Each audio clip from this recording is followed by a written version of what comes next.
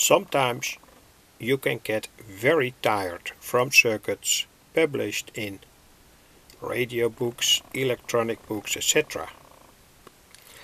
This is for instance a schematic that pretends to be a crystal oscillator made with the popular old 1970s 7400 chip. And according to this book it had to work um, as a TTL oscillator um, and the output was suitable to drive a TTL IC chip. The output is a square wave that is suitable to drive other TTL ICs. I built this circuit and it is more or less a disaster. Here is how you can solder the whole thing together. And here on the breadboard with a crystal now at the moment from 1.8 megahertz. But the waveform is a disaster. This is not suitable to drive a TTL chip.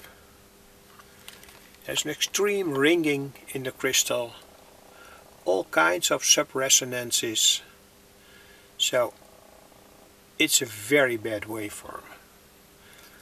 So sometimes I can get a little bit angry about it, but anyway, it's my hobby. I do it only for fun. So let's get back to the circuit. And I uh, want to name this circuit a crystal tester going from 1.8 megahertz up to 25 megahertz. That's all. Nothing more nothing less. Uh, of course you can ask many questions. Did you decouple the, the power supply? Yes I did. Here decoupling coil did you test here other capacitors, say from 100 nanofarad? Yes, I did. The same bad waveform.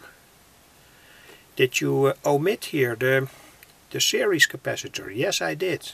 The same bad waveform. Did you here make a an output with a fixed output resistance? Yes, I did. The same waveform.